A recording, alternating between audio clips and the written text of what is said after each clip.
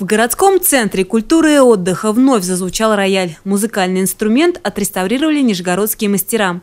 Этот концертный рояль теперь будет украшать малый зал ЦК ИО. Инструмент не ремонтировали более 20 лет, и за это время отдельные элементы оказались полностью разрушены.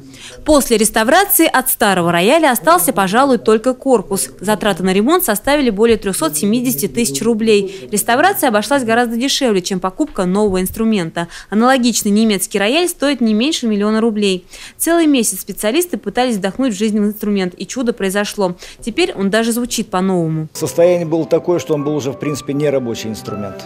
Это был, так сказать, э, как сказать, единица балансовая, не более того.